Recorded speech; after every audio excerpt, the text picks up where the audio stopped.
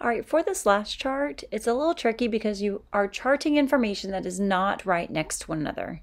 Meaning, we're going to chart our menu items and the fat and the carbs. So we're going to, you have to select the exact same amount of data. And this first part, don't hold anything else, just select it like normal, A2 through A5. Now with your non-mouse hand, press and hold on Command, and then select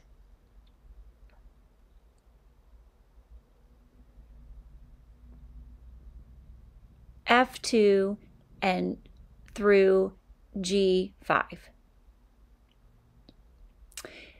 Then you're going to go back up to Insert and choose the 2D column chart.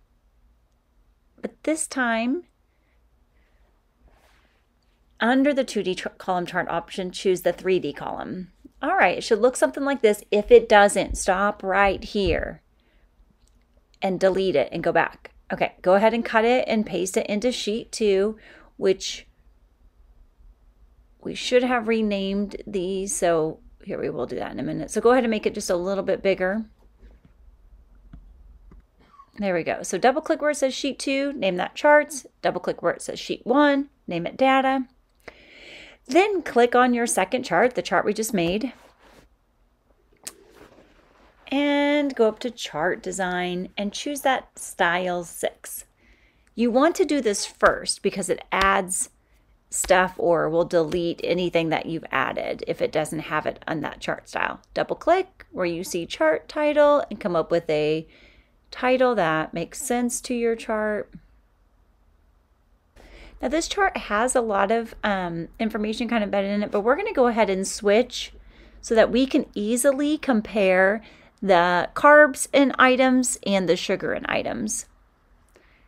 All right, this chart already has axis titles and um, stuff like that. So we're just going to go ahead and edit that chart title.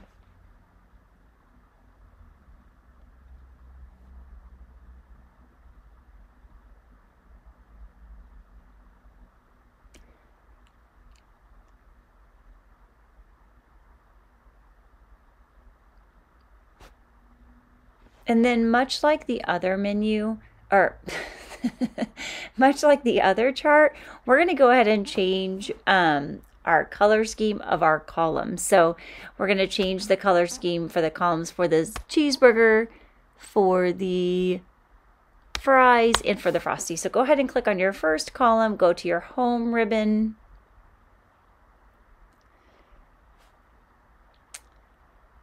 and click the fill color and choose like one of your logo colors, like one of your restaurant's logos colors.